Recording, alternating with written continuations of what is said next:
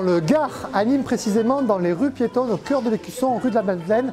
Je vais vous proposer de rencontrer Michel, c'est un restaurateur d'origine italienne, avec sa faconde, sa cuisine. Il crée du lien social et puis il va nous faire découvrir euh, sa recette du risotto avec des secrets. Je vous propose de, de me suivre. Va Michel, tu vas bien?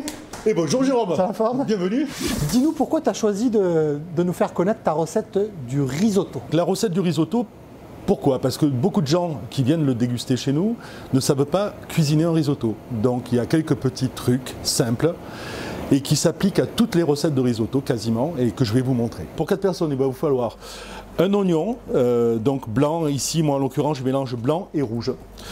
Euh, on va avoir la moitié d'un bouquet de persil, on va avoir 4 gousses d'ail, 50 g de bolets séchés que l'on réhydrate et on va compter à peu près 300 g de riz. Pour le bouillon que l'on est en train de faire ici, ce sont euh, les carottes, euh, les fans, les fans du persil également, tout ce qu'on récupère en fait comme légumes qui partiraient à la poubelle sont réutilisés dans cette préparation que l'on laisse mijoter à peu près une vingtaine de minutes.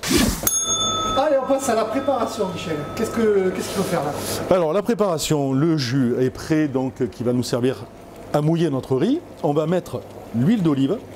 Donc, on a choisi de travailler avec une huile d'olive de Ligurie qui s'appelle la Tagiasca. Voilà, c'est une huile d'olive de la région d'Imperia, Dolcedo exactement et qui est la base de toute notre cuisine. Et on va mettre nos oignons. Donc en l'occurrence, les quantités sont beaucoup plus importantes. Pour les oignons 1,5 kg et demi d'oignons. Euh, les oignons viennent des Halles. On a choisi de travailler avec celui-ci.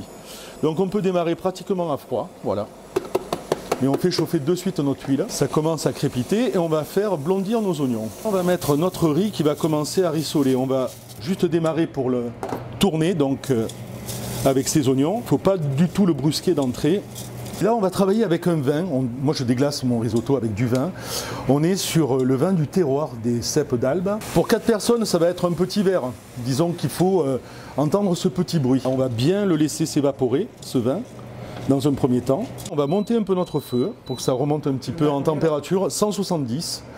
Et je vais commencer à mouiller un petit peu avec du jus de légumes qu'on a pressé, qu'on a filtré et qui donne cette, euh, cette potion magique. On va commencer un peu à saler notre, notre préparation.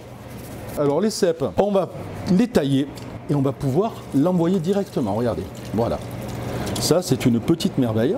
Voilà. On va démarrer comme ça. Voilà. Et on va monter un petit peu notre température à 190 200 degrés à peu près, on est bien. Au bout de 16 minutes, on a ce risotto qui a cet aspect. On y rajoute maintenant encore un petit peu de persil pour l'ensemble. On va rajouter un peu d'eau, pas beaucoup, chaude bien sûr l'eau. On va le tourner, on va couper notre feu. Voilà, c'est fini.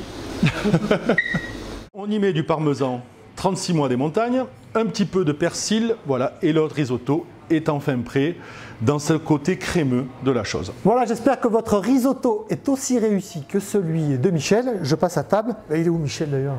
Michel, à table Voilà, Jérôme. On est bien comme ça. Bon appétit. Bon appétit. Merci. Salute. Un peu de musique peut-être, une petite musique? Allez. Ciao.